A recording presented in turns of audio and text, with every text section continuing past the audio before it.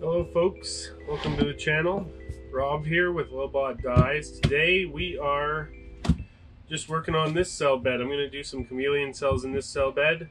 Um, yeah, normally I do a, uh, a, lengthwise setup for the bed, um, but I've found doing this you can get some, uh, some really cool effects. We're going to be dragging black over this. Um, and what happens when you drag, uh, you know, sort of uh, across the colors like this is they all sort of drag into one another. You get the black over the top, but they all drag into one another. Um, so you get uh, quite a bit of mixing and I've got the lines very close together here, um, which also is going to promote uh, mixing from many colors into each other as we pull across here. Uh, so yeah, just going to be your standard chameleon stuff. If you want, if you have any, uh, you know, if you want to know about my process for chameleon cells, check out the chameleon cell video that I put up first, uh, and that'll get you started. This is just more of a variation on that. Um, so that video will have all the details for that, and I'll have a little card up in the corner uh, of the screen here. You can click on to check out that, and that that goes over uh, basically everything you need to know for that. But right now, we're just going to start with uh, what I got here. Um, so I got my black, and just going to start at the top.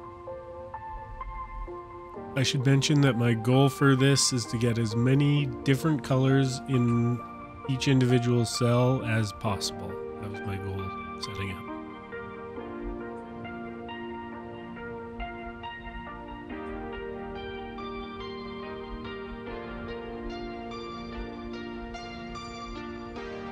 And I threw a little bit of like every different color I had in this, which is always fun to do.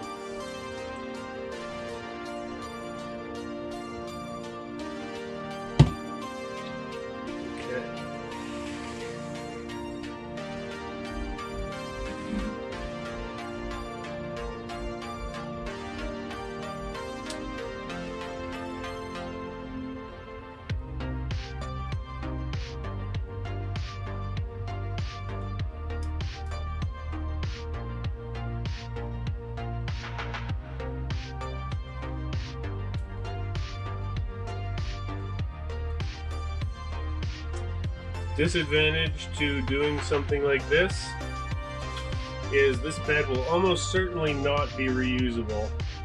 Um, it's going to be so mixed after this first bed that uh,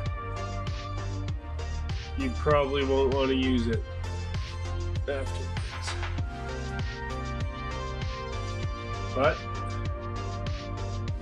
The one result we get should be pretty sweet.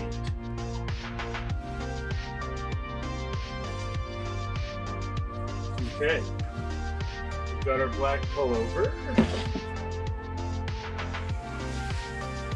Now I'm just to do my uh, standard honeycomb on this with uh, Afro Pick dipped in 3-in-1 silicone.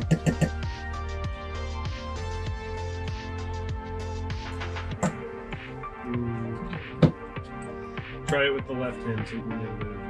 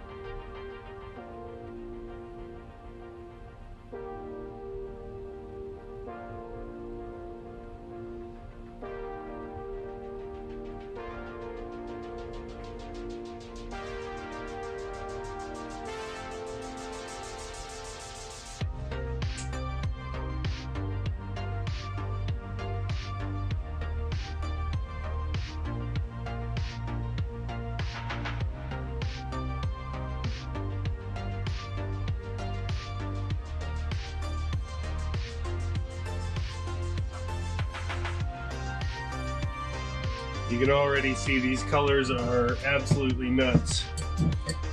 Those are looking spectacular.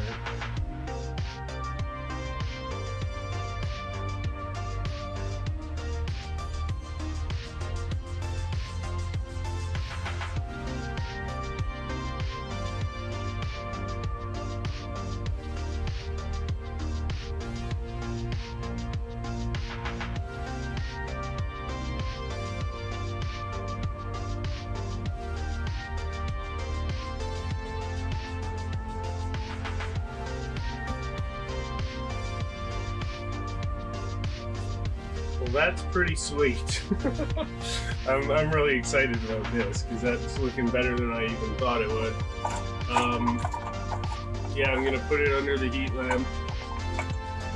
Although it looks like it's doing pretty good on its own. Um,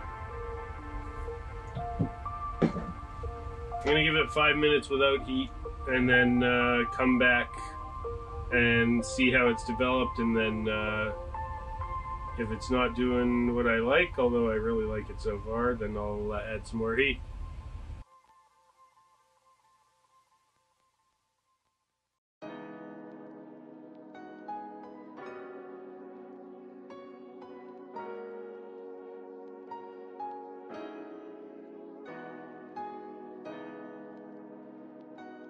Okay, so that's five minutes no lamp. Looks pretty cool, but uh, we're gonna blow it out with the lamp just to get them all bumping into each other and fully honeycombed. Um, so let's let her rip. Give it another five minutes right under the lamp.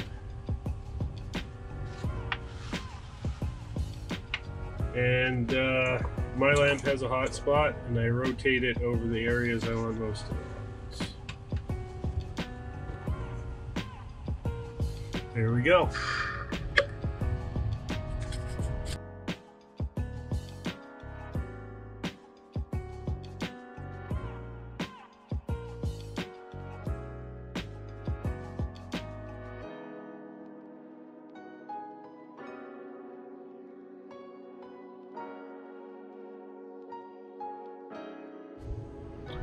Well, that's five minutes with the lamp. I think this is pretty spectacular stuff. Uh, yeah, I love this. Um, so, shuffle this all over here. I have a six claw zone that's gonna go in there. Um, yeah. I don't know how deep this is. I didn't make it all that deep, so I'm sticking with the zone. Ah, I could probably, I could probably stick something with some dome in there, but uh, you know, we'll just play it safe because I, I really want this to turn out well. Um, yeah, I'll drop this in, and uh, you guys can see the results right away.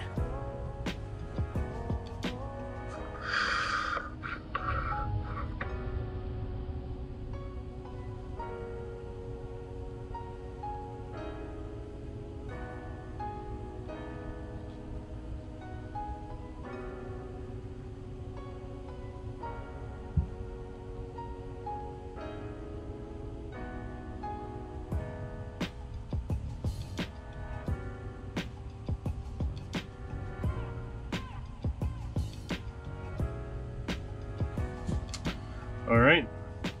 Um, and if you want to know about uh, how I heat these things, uh, I have a video that I'll put a card on the video here right now. Uh, and that goes over how I heat my discs uh, to get them, uh, you know, the best color transfer.